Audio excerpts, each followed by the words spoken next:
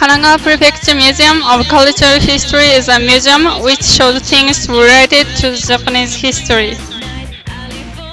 We weren't allowed to take videos in most areas, so we only have these images to show you. Sorry. The museum is exploring at all. each era in history has their own spaces where they use stories and models to explain the time period in a fun and interesting way. The building of this museum was that of Yokohama Specie Bank until 1947 and is one of the important cultural properties.